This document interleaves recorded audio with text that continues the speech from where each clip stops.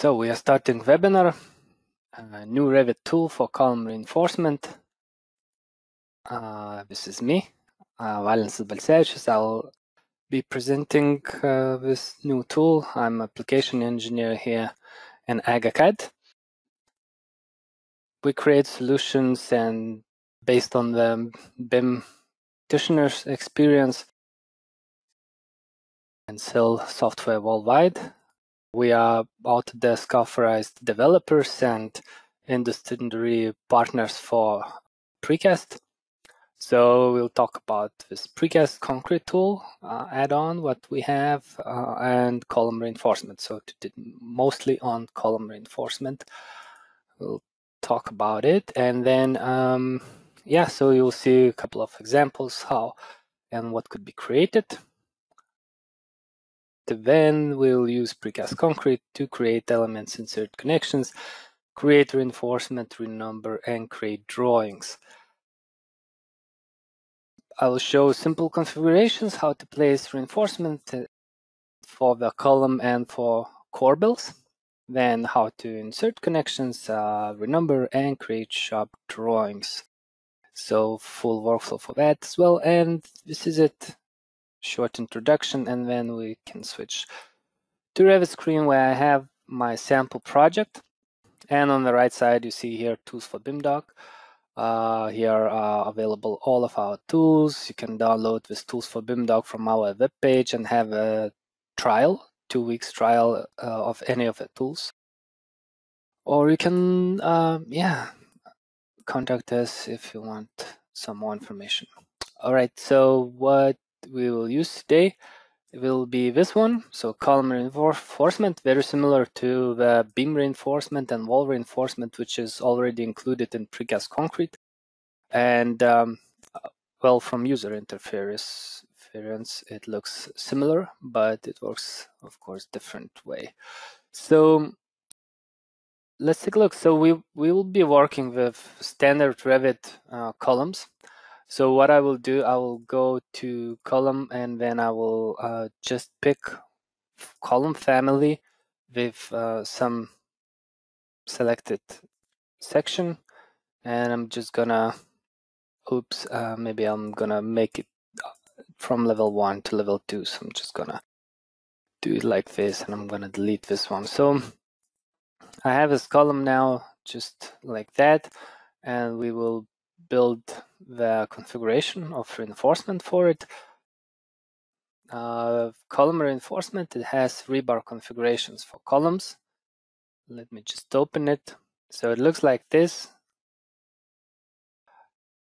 Here I have already a couple of configurations. I will select this one and save it uh, with a different name. this is second webinar today, so I'm just gonna give new name for it. And um, it's gonna work with rectangular columns, uh, the first release. And here you have settings for the cover, uh, right, from different sides. Then we have settings for main reinforcement, stirrups, and corbels. So I will I will create uh, this one like new item, and in in this row, you can define a rule how to place main reinforcement. So I will say that I want to have main reinforcement on the front of the wall. So it's uh, front is the same as it is in the family editor.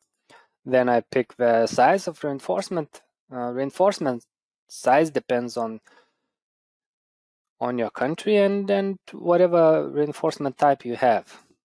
So it could be uh, like different type. You can call it strand if you want to, but basically that's you select the type of rebar and then that the amount of rebars which will be distributed in, in the first row on the front and this uh, horizontal uh, rule how to distribute that. It will be an, an vertical one. You can add some vertical distance from the from the stirrup or from the cover of column, then you have top and bottom offsets from the top and bottom of column.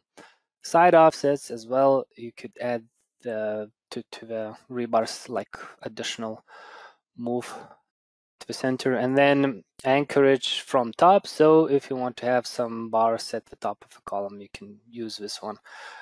So instead of using big bottom offset value, you would, okay, how did I do that? I dragged somehow five number from here to here. And units now is metric, but of course, if you use imperial units, it, it's gonna work with imperial units. And then couplers, so uh, whatever couplers you have in your project, you can use them uh, for the start or end of um, rebar. And then I'm, I'm gonna add another row. I will say I want to have uh, rebars at the back of the column, as you see in these pictures. Um, and then four fees in, in that direction. So I basically I define the size and the amount of elements, but uh, later on I, I switch to stirrups and then I say I want to create stirrups. The size of stirrups should be like this and then the shape of stirrups could be like that. And then stirrups, they should go around the front reinforcement from around one bar and, and the fourth in this case, and it's gonna go from, from front to the back of the column. And, and it will follow the cover settings. And main rebars will be inside this stirrup. So then I say this is this should be my yeah hooks and then uh, layout rule. So it could be like uh, just one step between all the bars with some offset at the start or at the end. Um, or it could be like three steps, so you can define uh, different values here, right?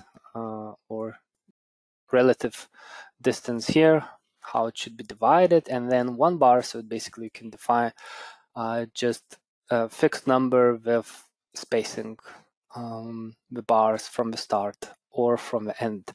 So you pick one of these rules and then you'll apply that for this one. So it's just like continuing from this row. And um, so, okay, I have O shape. Maybe we can add another one and we will say that I want to have I shape. Uh, so it's just like you can see here in the picture, it will be just vertical bar between which will go from front to back direction. If you want to have horizontal stirrups, you should use I-shaped 90 uh, shape form. What do you have here?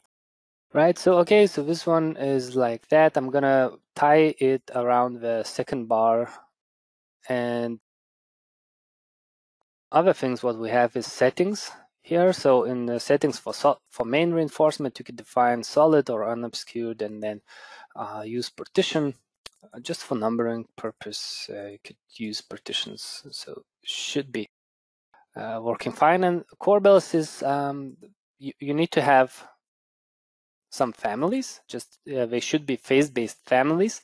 They should be hosted on a column, and they should be rectangular or uh, with a sloped bottom edge then we have it in a project you can select it and and uh, assign it. So but first of all let's let's try to create reinforcement simple bars for this column.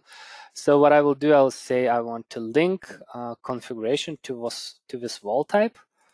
Actually let's uh, let's um, duplicate this type. I want to have it a little bit different. Let's make it like that let's go to column link.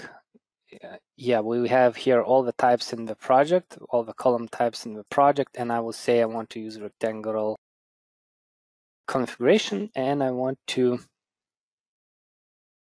use this configuration on this type of columns. Uh, I can have any number of columns in my project. It's gonna apply uh, if they are the same type right? I'm going to change this one a little bit. Uh, it will apply same configuration. So when I click on create, it will read information in the column link and it will apply that configuration for my columns. So what I have here now is like four columns on the front, four columns at the back, and then I have this one as well uh, created here, right? Like this on the second bar, tied Um, and um, if, if you want to change something for a particular column, you can use modify tool. Modify tool uh, allows you to, I don't know, if, if you want to, you can change the start offset or if you want to, you can extend bars, let's say by defined distance or something else. So for any column, you can you can make this kind of uh, individual changes, or you can um, you can modify configuration and update by modified configuration. So whenever you have some kind of changes, right, you can always uh, do the. Let's make this one as well. So you can always run update so it will update by configuration which was applied on this column, or you can update by column link. So this will apply by the latest configuration. So that's the one. So, so now I don't have this individual modification here. And then you can just delete bars, right, with this tool, delete, and that's it. So we don't uh, get any reinforcement here. And then if you want to have corbels, uh, in this sample project, I have different kind of corbels here. One of uh, is, is with some details. Another one is quite empty, just the shape of it. But basically, that's um, yeah, I can I can just drop it here. So if I will just do like that, I will align it maybe with this edge and this one.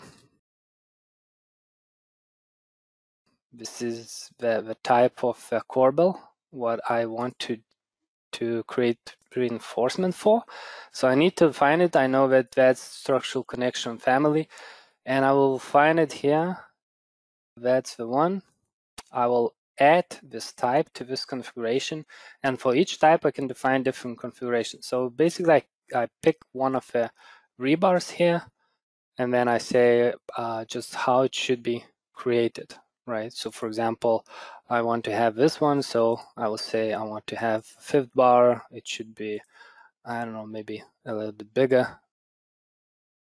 Then I define all the values here based on this picture. Then I add another one. I say, okay, this shouldn't be the same bar. Maybe it should be this one.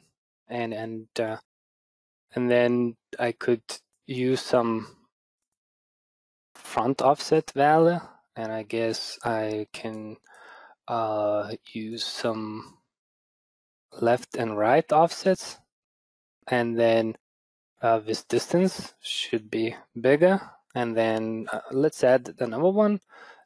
This is going to be the third one. I just pick the right bar whichever I want to use. Maybe these should these guys should be maybe a little bit smaller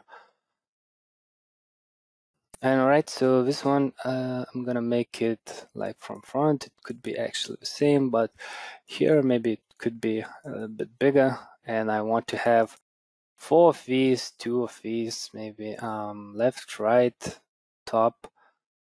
This one, maybe also extended. Okay, so this one maybe should be much bigger. Top and back offsets Actually, this one should be a little bit lower, probably like 42 or something. All right, so when I do something like this, I'm gonna save it and save and close, and we can try now to update by column link, so by the latest configuration.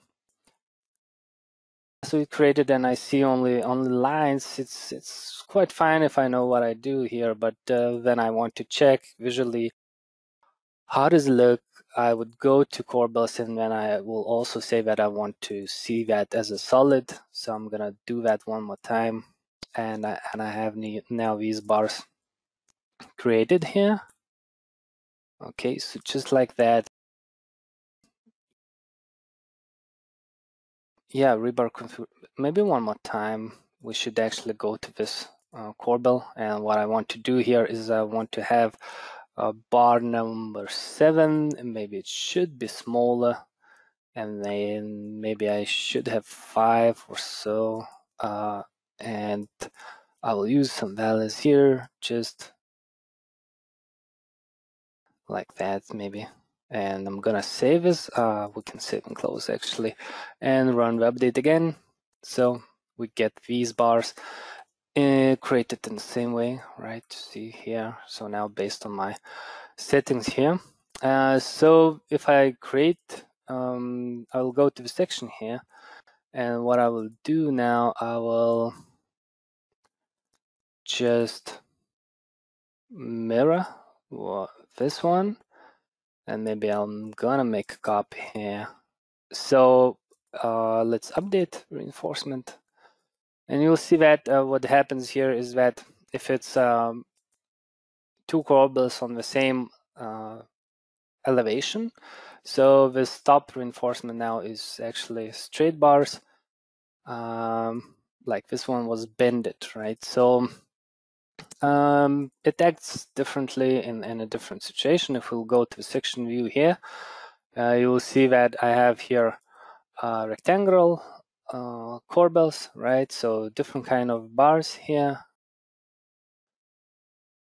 like vertical stirrups, horizontal stirrups, and other shape of horizontal stirrup. And then uh, the same goes with, uh, uh, with this type of corbel could be your family or you will be able to, to use sample project which I'm gonna load into the help page. So you will find help page and sample project. I hope I'll put it here on the Monday because I want to clear this one and then put it for you so you could use it. If you want to. All right so okay uh, that's uh, the way you could use reinforcement for precast and, and I'm going to show you now more examples for it. If you have uh, any questions, just type in and I will try to answer them, okay? Here I have uh, just, uh, again, column, I have beams, um, and these are joint, like cast in place elements. It just depends how they are joined, but if I'll create reinforcement for these, this one. So I had configuration assigned already, which extends the bars uh, to the top. But over here, you see it was just um, a different connection with beams, and now they are inside the beam. So it depends how do you join the elements. Then I have these guys uh, column with some tubes at the bottom, but what I want to do is that I want to create reinforcement for this one, but just I will show you a couple of things. How does it work? So, so here this one is a little bit longer. Uh, in some countries, uh, that's the way they put reinforcement. So this one is a little bit longer. So that's why we have this setting. It will move one of the rebars here. So if I'll go to configuration, you will see I have this one, this option. So I picked which bar should be moved and then added the distance. So now only one bar here moved up a little bit. And then you'll see another difference here is these stirrups. They have different bending air uh, radius than these. So I just use different uh, rebar type because you can have these bending uh, radius in, in um, properties of any rebar type that's where I got these. So if we'll take a look to the section, uh, to the level one, you will see I have bars which uh, which is going around the reinforcement and bars which is going around these tubes. And um, if we'll take a look to configuration, the stirrups has special parameter which is called uh, offset. So it's just offsetting stirrup from a standard position into uh, outside the column. So now that's that's where I got these results. If we'll take a look to other examples, I think we can run a couple of other columns. So when I click on create, it will create reinforcement for all of our columns because I have assigned different configurations for, for the columns. So um, this one it has quite easy, simple reinforcement, I guess, just at the sides and stirrups.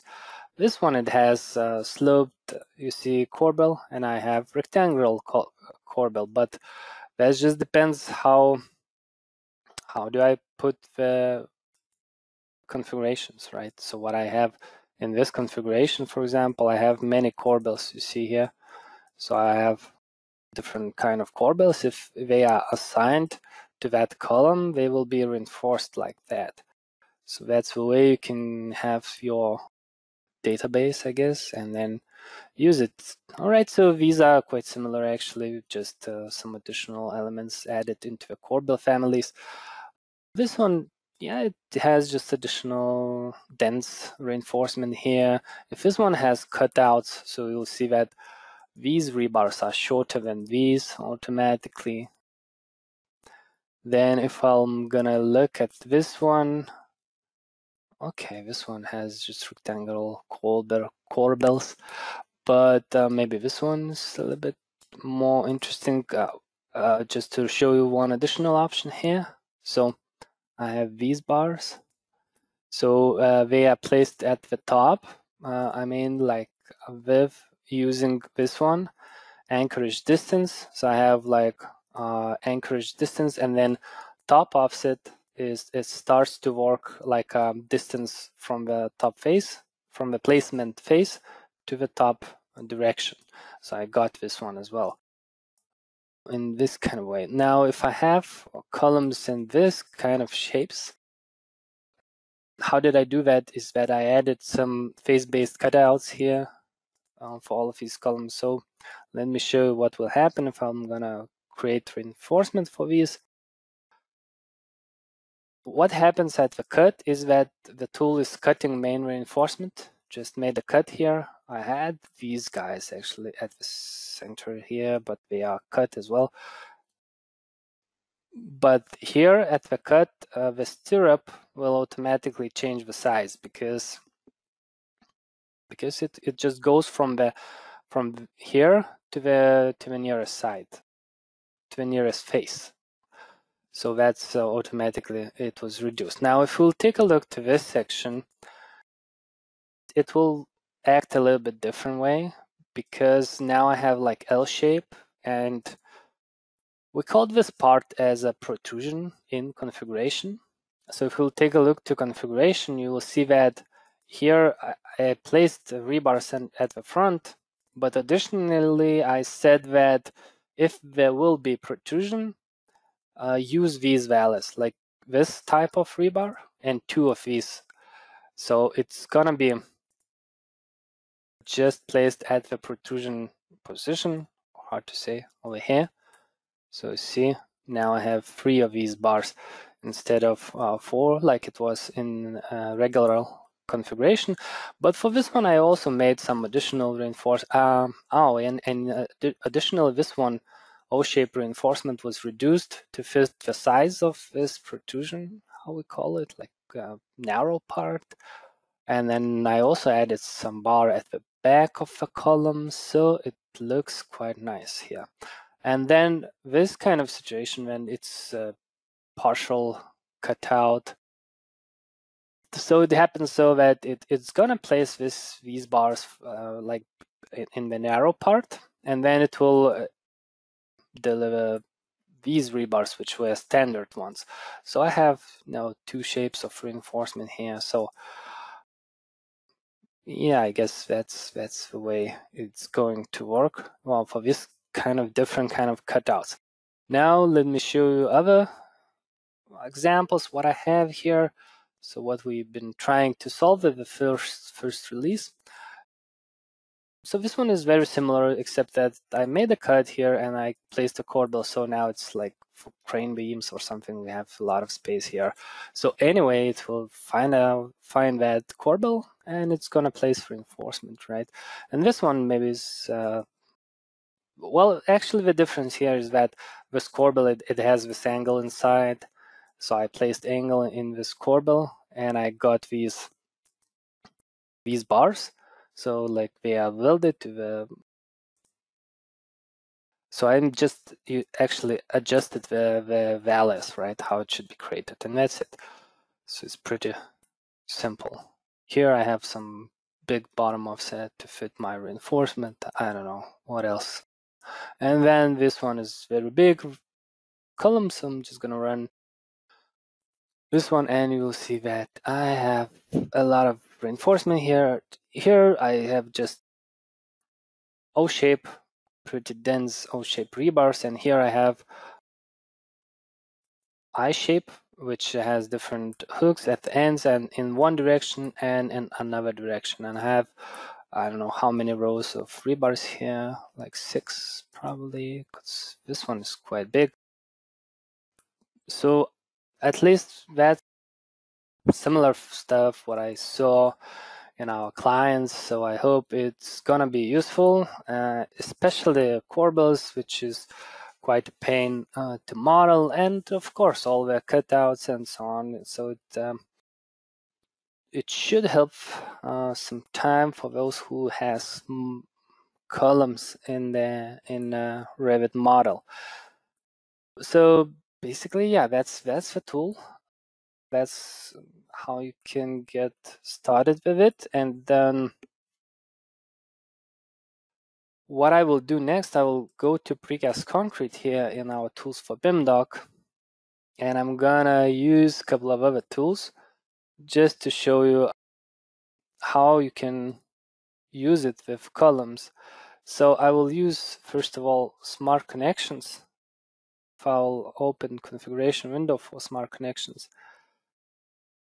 The tool allows you to place connections like corbels and, and lifters and plates and grout tubes. Oops. What is it loading? Loading families for me. It has possibility to add template project from which it will load the families needed for configurations. I just forgot to to change that one. So it's now loading me families, which I actually didn't want to use today, but let him do the job until he will be happy. I'm just gonna. So here you have the configuration window where you can define how to place line-based families and how to place point-based families on your elements. You can just distribute them in one direction, like in this image, right, uh, in vertical direction and horizontal direction, how to place selected family, which you select from the, from your family browser, whatever you have in your project. So you can pick any family, uh, face-based or line-based family, and define rules how it should be placed. And it could be used with many structures, steel, uh, wood, or concrete. So we use this technology very yeah, a lot in with, with, with different tools. Let me just uh, check what's my template project. Actually, I don't want to have it. And I'm going to change the place for configuration because I was just about to use, uh, which one? I guess I was using this one. All right, let's take a look. Configuration now. Do I have these? Oh, yeah. So I think I got my configurations back. All right, let me just select a couple of elements here and um, I'm gonna insert different kind of configurations into these elements because yeah, I was I, I already assigned what configuration should be used for which element. So I have this auto insert tool now and it's just placed a couple of lifters based on gravity point of a, of a beam, then some cutouts, then some cutouts at the ends, and then pretty simple stuff for the beams this time.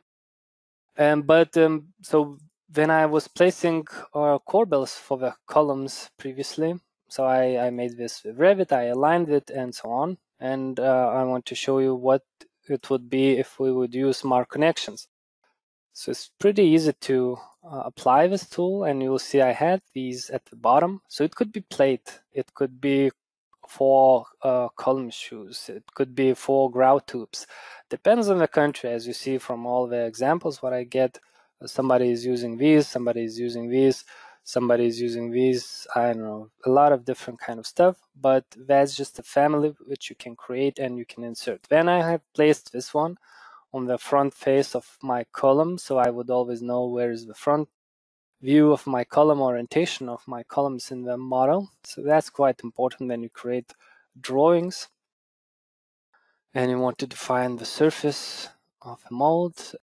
And then, okay, and what happened now that I got these corbels here automatically to the directions of the beams. If I'm gonna select the other uh, columns and click on OK, you will see that they will get different corbels.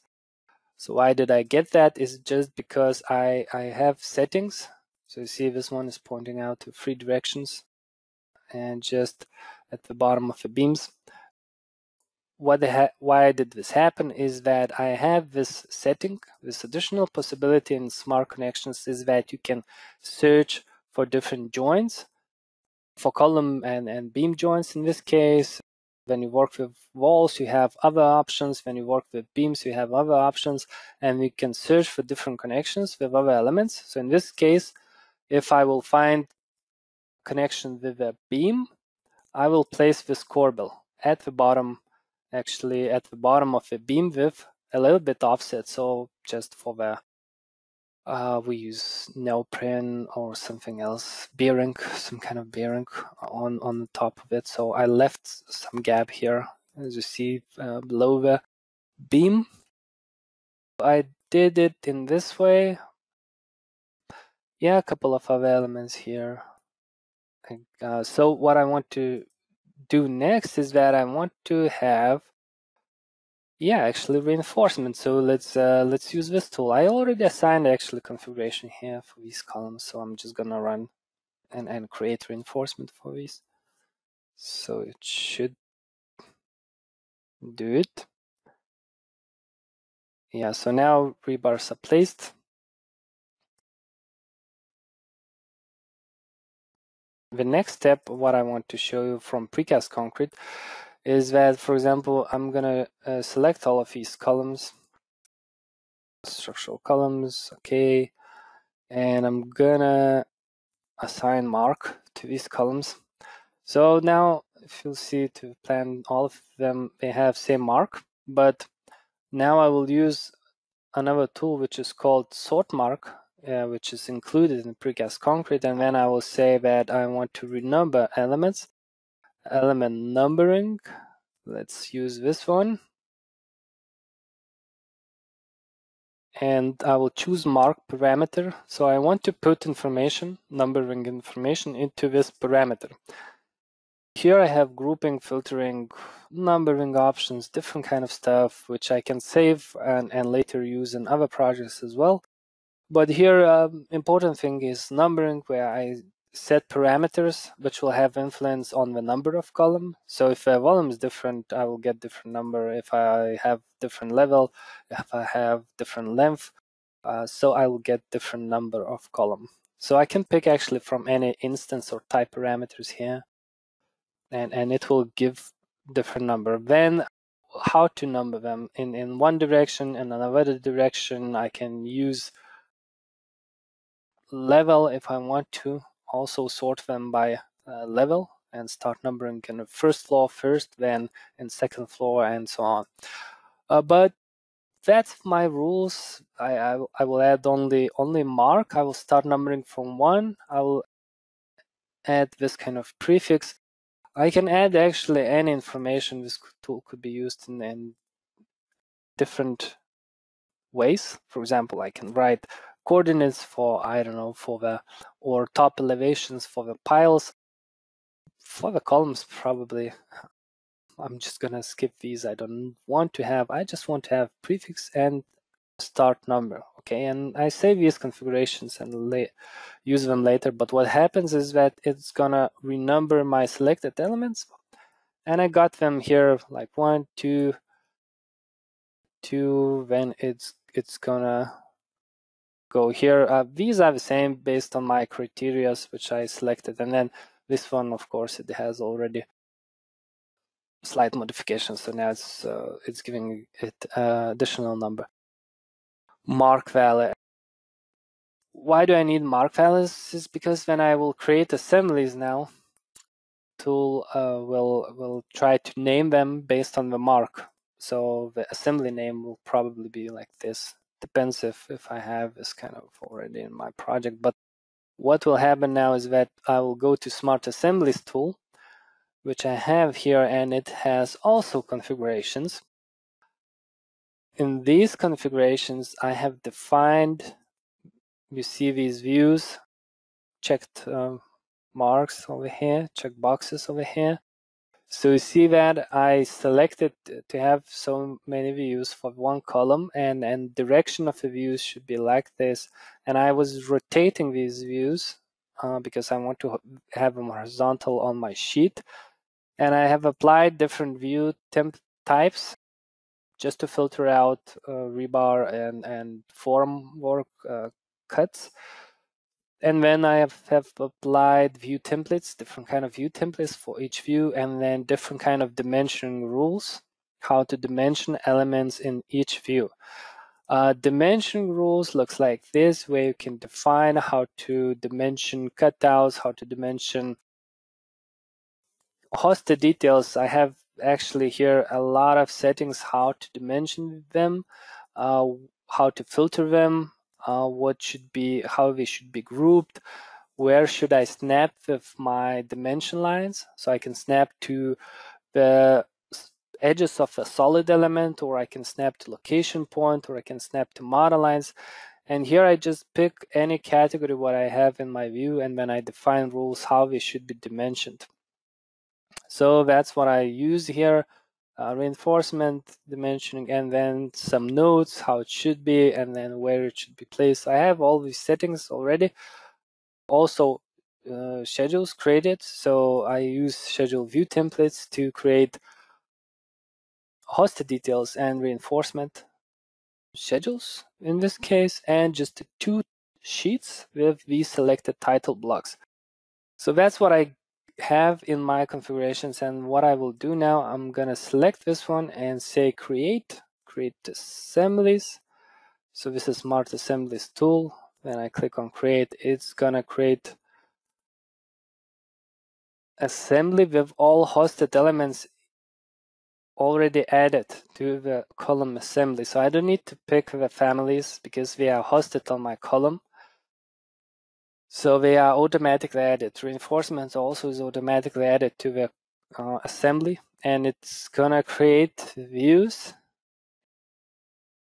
It will calculate assembly mass and it will place dimensions for me. So now we'll see that I have assembly mass, I have some information when it was created. And then I'm gonna move down to the project browser and we'll find this column here add assemblies. So now I have like a section where I have dimensions of, um, in this case, I'm, I was measuring just balls and then I was measuring position of these balls and as well as um, other stuff. But actually when uh, the first thing is created, so when the software is creating this, it's using Revit functionality to place the views, the standard Revit views. And standard Revit views, this is the top elevation, and these are sections. Section is always like in the center of a column or just uh, in the center of assembly. So, but uh, that's not how I want this to be. So I'm gonna pick this one and I will move it here. And then I'll select all of these and then what I will do, I'll say I want to crop views actually, and I want to just reduce the depth of uh, visibility. I'm gonna actually do it like that and just adjust these. So what I uh, I do that because um, I want uh, to create other assemblies and that for next assembly for next column drawing these views will be in these positions and they will have this reduced depth already. So I want to make sure that uh, for next assembly I don't need to drag this stuff. So uh, okay, so this is the left view. Then I will go to the front bar, and here I have similar situation. So I'm gonna just reduce this one a little bit like that, and I have some and, uh, and this one. Yeah, let's do this one as well.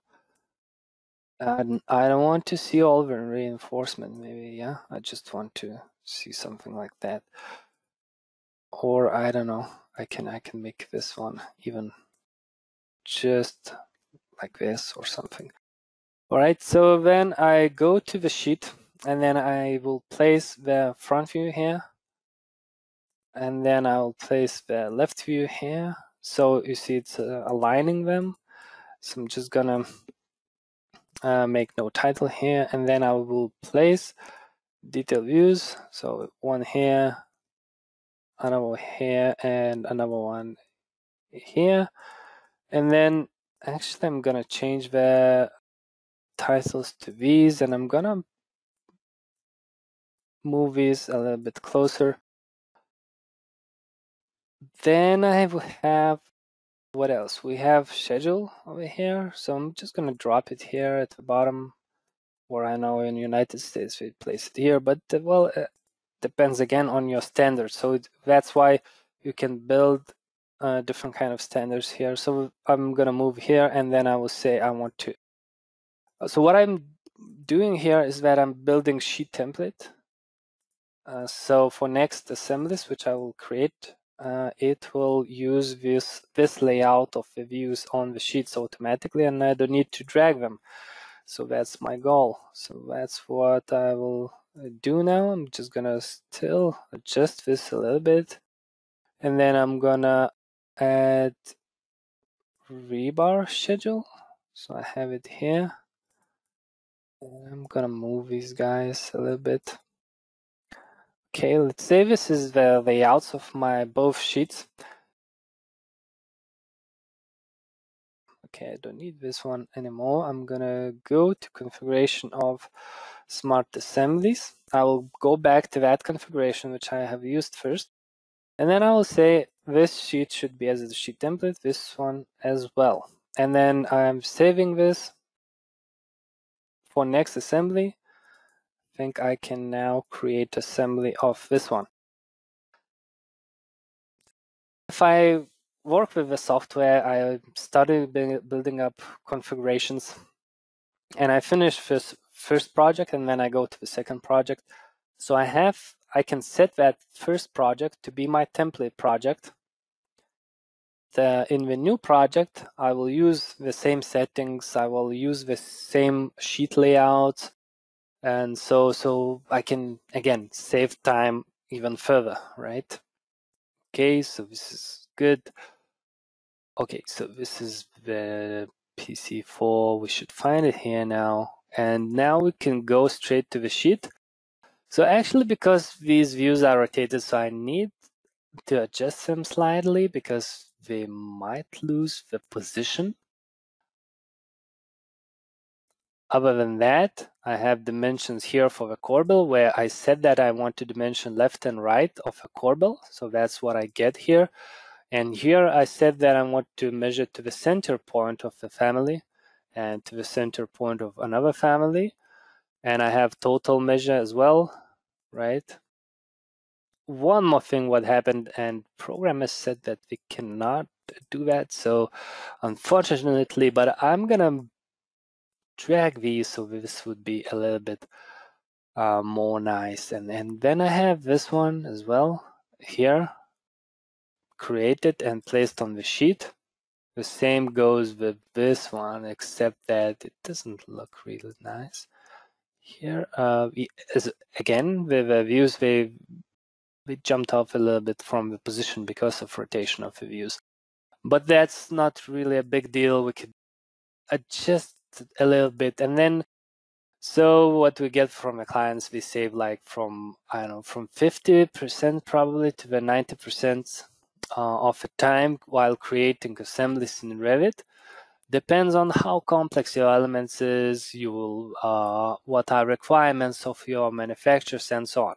Sometimes you will need to add some notes some lines uh, and so and, and adjust the views or add something additionally.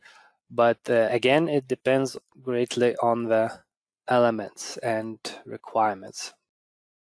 But anyway, it saves a lot of time. It already takes everything into one assembly. You don't need to be careful about selecting these all of these elements. So it really saves a lot of time.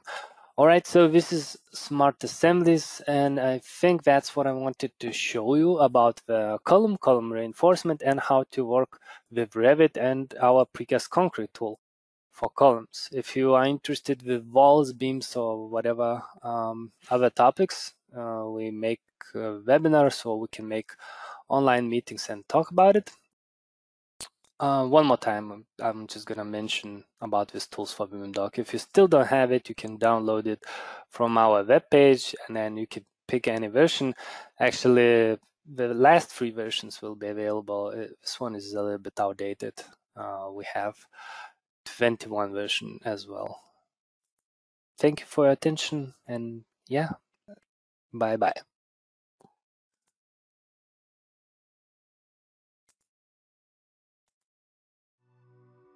AGA CAD, building BIM together.